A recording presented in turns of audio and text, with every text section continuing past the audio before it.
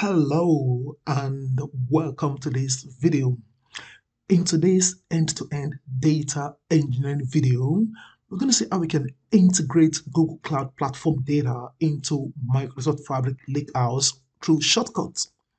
So we're going to build a Power BI report on top of that data set without physically loading data into the Microsoft Fabric. So let's get started. We're going to go through this diagram. We'll start off by going to our Google Cloud. Basically, we can create a free trial account worth $300. And then we're going to move on to our data engineering workload in Fabric. And then we'll create a lake house and then we'll build a Power BI report on top of that data coming from the GCP. So I'm going to come to this file first. Now in this file, I've got this GCP data, and of course we have some columns of data set. I have the date, product, payment type, unit, price, and the sales amount. So this is going to be the data I want to ingest into our Google Cloud bucket. Now bucket refers to the basic container that holds data in the Google Cloud storage. So I'm going to close this and I'm going to come to my web and this is my console.com cloud.google.com. So we want to start by creating a bucket. So I'm going to come to this sidebar. I'm going to search for bucket and then press enter. And for now, we can see I've got no bucket created. I'm going to click on this create button at the top here, and then I can give meaningful name to my bucket. So I'm just going to call it um, fabric demo 101 and this should be acceptable. So i'm going to click on continue and then i can specify where to store my data set. So this is going to be basically in multi-region and i'm going to stick with this default anyway. Click on continue. And then we can choose the storage class for our data set. So we're going to go with the set default class. So i'm going to scroll down and then click on continue Uh, and then we maintain the same prevent public access. So I'm going to scroll down and then click on continue and then maintain the same data protection. Scroll down one more time and then click on create. So we're going to go ahead and see this public access will be prevented. So this is going to be fine. So we want to enforce public access prevention on this bucket. So click on confirm. We have the bucket created and this is going to be our Google Cloud storage. So I can get data into this bucket through different kind of means. I can upload files, folder, I can create folder, I can even use transfer data. So in future video, I'm going to show you how we can transfer data in and out. But let's focus on uploading files. So I'm going to click on that and then I want to browse through the file. So I'm going to select that and wait for maybe three or five seconds. And there we go. We can say uploads and my first project operation. And then we can see this is successful with this check mark. And there we go. So I can click on this GCP data and then I can see the information such as the type, the size created, last modified, and so on and so forth. So this is basically how we can create our buckets in the Google Cloud platform. This is super amazing. Now I'm going to come to my Microsoft Fabric and then I've got this GCP shortcut workspace created with nothing in. So I'm going to swipe at the bottom here and I'm going to choose data engineering workload or experience because I want to create a lake house. So I'm going to choose the lake house and then I'm just going to call it GCP data and click on create. All right, so our lake house is created. Of course, we can see we have no tables and of course no files. So to create our shortcuts, because the data is actually stored in comma separated value, I'm going to come to the files and click on this ellipsis and I want to choose new shortcuts and then we're going to see the new shortcut window. Now, I've got a video on this Amazon S3, and of course, I just released a video on this Azure Data Lake Storage Gen2. So you can watch them if you want to learn how we can create shortcuts to those external sources. So we want to focus on Google Cloud Storage, so click on that.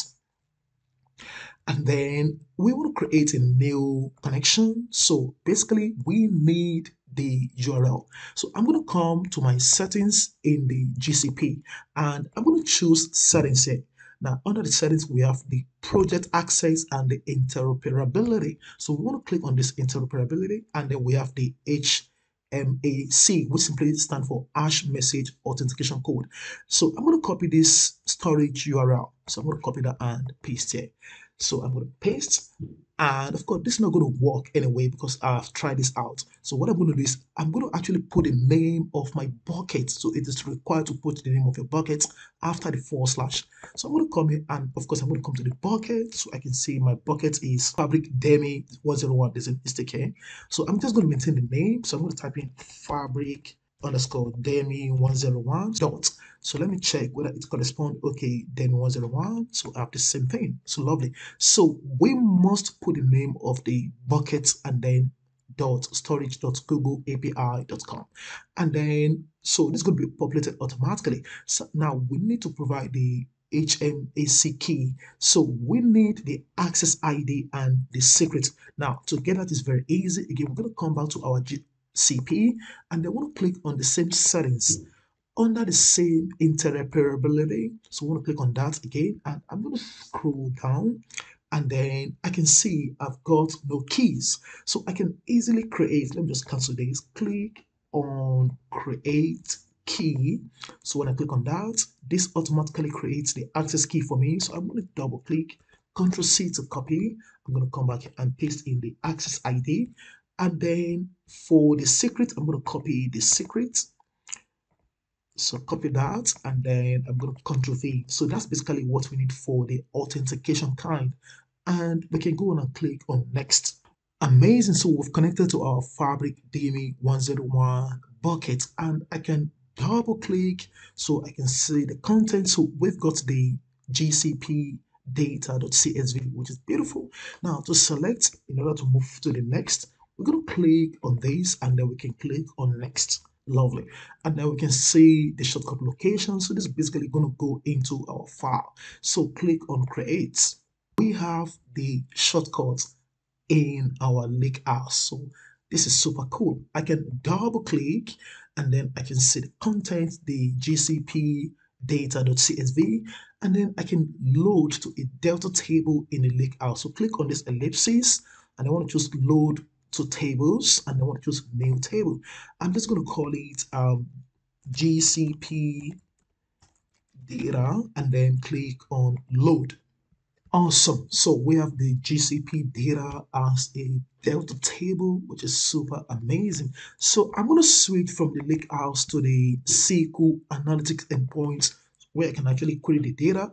We want to create a Power BI report. So I'm going to click on new report and then we have the Power BI platform, which is super cool. So I'm going to come back to the SQL analytic endpoint. So I'm going to write a single measure. We want to count how many rows we have in this GCP data. So click on new measure. And then I want to call this one number of transactions.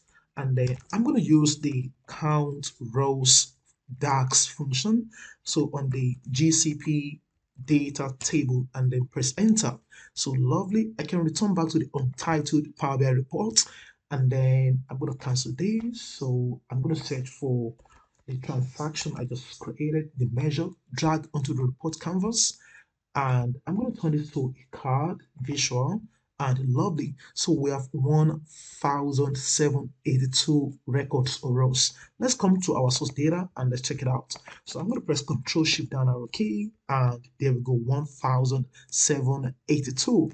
So this is basically how we can create a shortcut to our Google Cloud Platform data in our bucket. So I hope you enjoyed this video. If you do, like, share with your friends, comment and follow me for more video on data engineering.